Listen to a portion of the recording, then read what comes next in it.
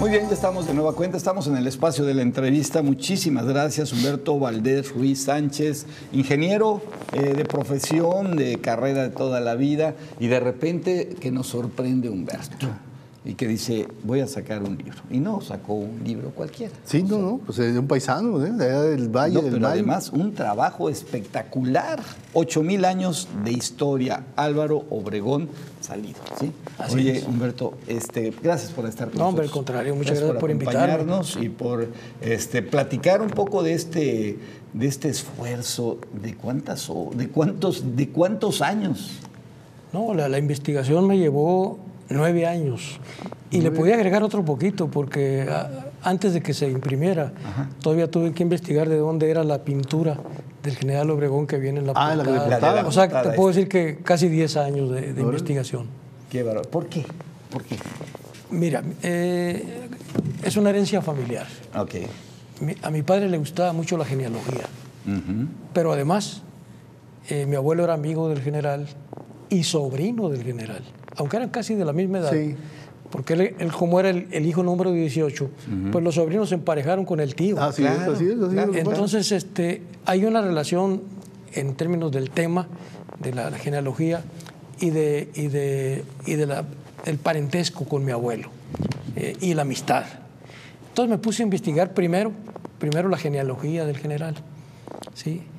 Por lo salido ya sabía todo, pero por lo Obregón no. Entonces, ¿dónde, ¿de dónde venían los ¿De dónde Obregón? venía el Obregón, verdad? De España, porque hay muchas versiones. ¿eh? Eh, yo sabía que venía de España, porque está consignado en documentos que están en la parroquia de Álamos.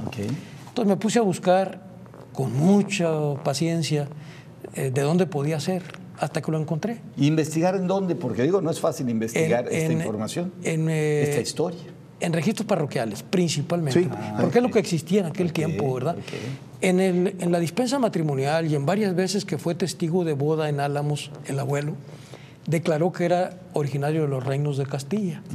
Y en una de ellas, en la dispensa, viene el nombre del padre y de la madre. Con esos datos, hay la edad obviamente que tenía.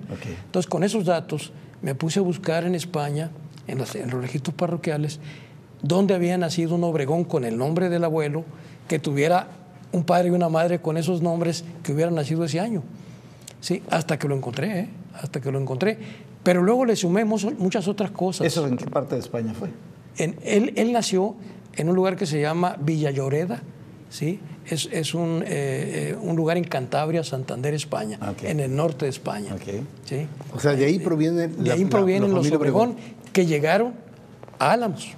Los que llegaron antes a México, que, que son los, que, la- los de la mina Valenciana, Así es, los que están ahí. deben ser parientes, pero ellos venían, porque también lo investigué, de un pueblo que está a 6 kilómetros de este. Ah, a lo mejor eran parentados. Sí, seguramente que sí, ¿eh?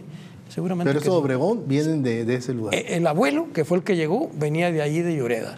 Eso no tengo ninguna duda. Y llegaron a Álamos, donde pues, todo, todo el sur del estado, de ahí Pero llegó a Álamos, llegó a Álamos, Víctor, porque tenía parientes. Ah, ok. O sea, Que lo- eh, es curioso y lo voy a, y lo voy a presentar, ojalá, en la, ahora en el Festival Ortiz Tirado, porque el primer Ortiz venía de ahí también. Ah, también. ¿no? Sí, venía de ahí. El tatarabuelo De esa De- misma de- región. de- del doctor. de- del doctor.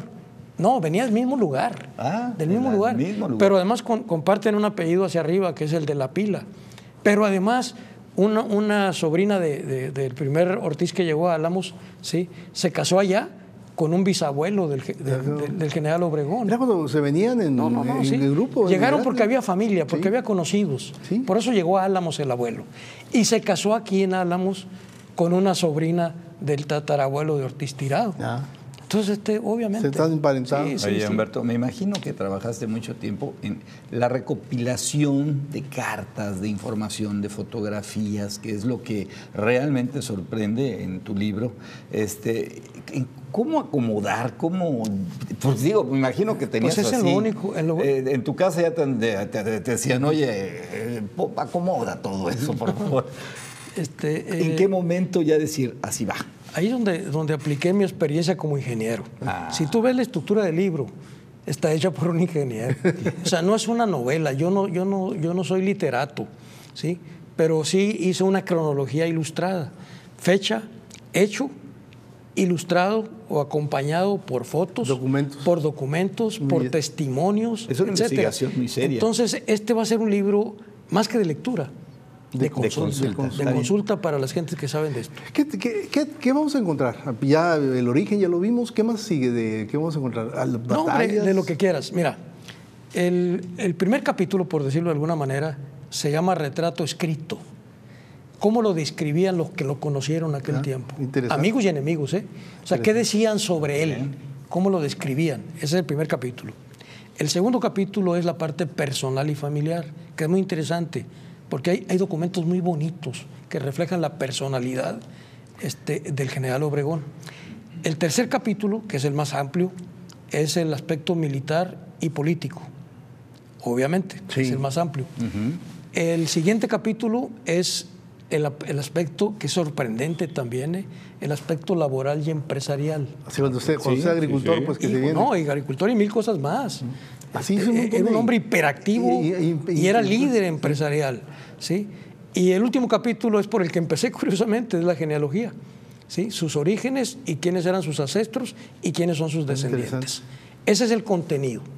Y obviamente destaca, por ejemplo, su cualidad más que dicen que tiene una memoria prodigiosa. Sí, hay muchas anécdotas en el libro este, que platican los que lo conocieron y los que supieron de esas, de, de esas vivencias de, de memoria que, que es tremendo, ¿eh? es tremendo. y un conocimiento de la naturaleza humana impresionante, ¿no? O sea, Ah. sabía lo que iba, cómo le iba a responder el, el militar que tenía enfrente, ¿no? Por su pura naturaleza. Era muy inteligente. Lo- digo, no lo digo por, ala- por alabarlo, que finalmente le- lo quiero confesar. ¿eh?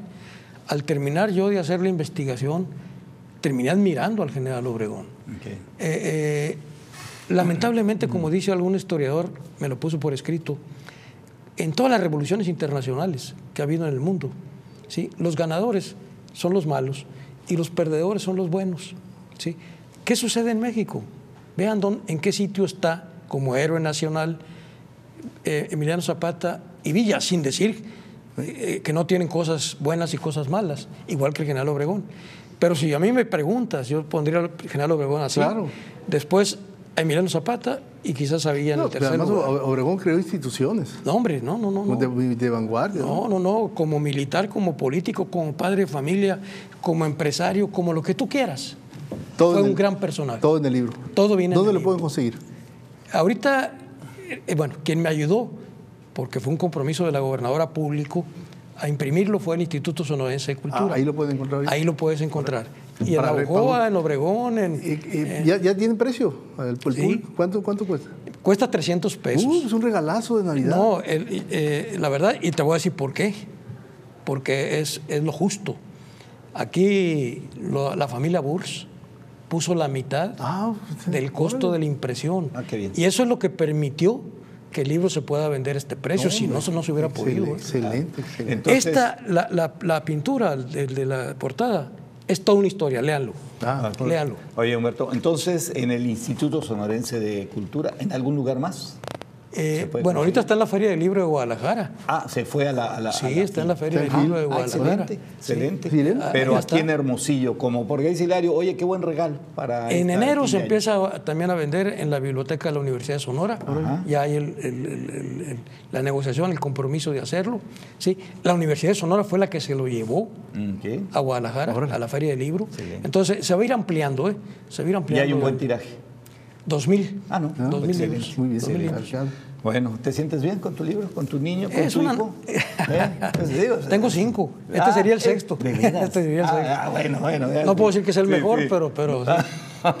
pero ese, ese es muy interesante. Así, no, y es el más chiquito. Lo disfruté mucho. ¿eh? Qué bueno. Lo disfruté mucho y mi trabajo ahora es, es- es- es investigar, sobre todo Y, genealogía. a- ¿eh? y aquí quedó plasmado. Y aquí quedó plasmado. ¿Hay más? ¿Hay, hay más? algo? ¿Hay otra, otra investigación? No, he hecho, he hecho, he hecho genealogías de Sonora, de Sinaloa, de Jalisco, de, que- de Nuevo León, de Querétaro, de... Lo- no lo- tienes idea, ¿eh? Oye, luego... Me lo- piden cada vez más gente.